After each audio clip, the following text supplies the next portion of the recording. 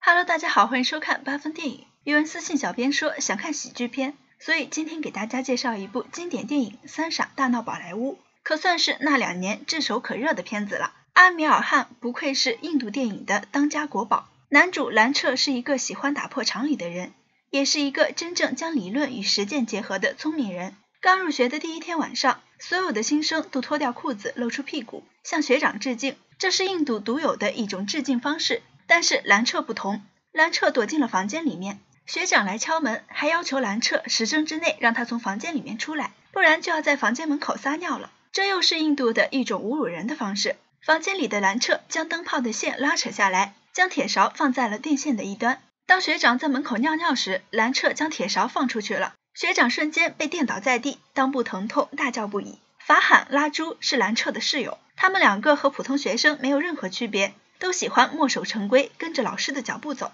但兰彻不同。他在院长讲话时提出问题，让院长颜面尽失。上课时喜欢用通俗的语言来回答教授的问题，但是教授明显不喜欢他的回答方式，而他也会用同样的理论去找教授的茬。反正就是在各个课堂上向教授提出尖锐的问题，导致兰彻只能从一个教室被赶出来，进入另一个教室。有一位同学做了个遥控飞机，但是还没完成，院长毅然决然打电话通知学生家长，不用参加学生的毕业典礼了。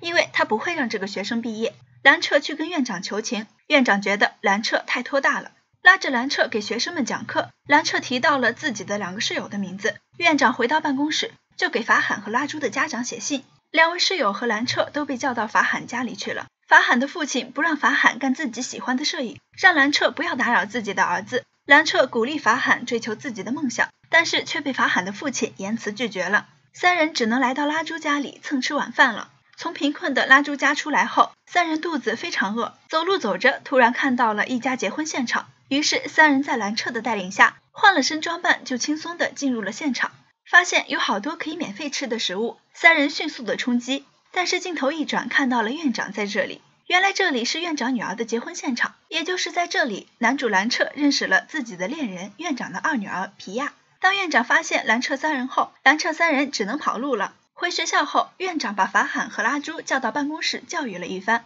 拉朱家里贫穷，只能好好学习，但是同学效应器却在同学复习的前夕想尽办法分散同学们的注意力。兰彻想了个办法，修改了教育部长的演讲稿，让效应器和院长出糗。晚上，兰彻三人在水塔开心，效应器上来了，他和兰彻打赌，十年之后看谁更成功。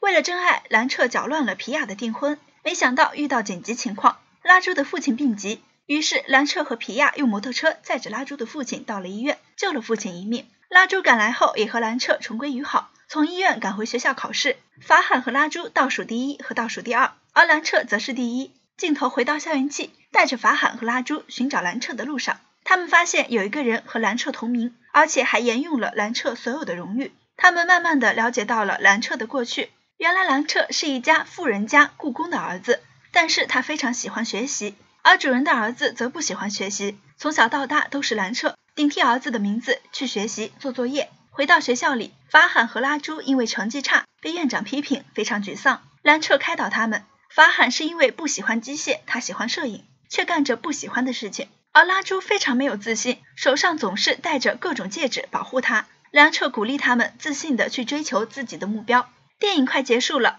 法罕跟父亲动情的商量，父亲同意他做自己喜欢的事情。而拉朱取下了所有的戒指，在轮椅上自信地找到了喜欢的工作。回到了找兰彻的路上，法罕和拉朱来皮亚的婚礼现场劫走了皮亚。他们在一家很小的学校里找到了兰彻。原来兰彻就是效应器寻找的有四百项专利的世界各国争抢的科学家。故事到这里就结束了。这是一部集搞笑、欢乐与教育励志于一体的电影，值得一看。好了，我们今天就说到这里，我们下期不见不散。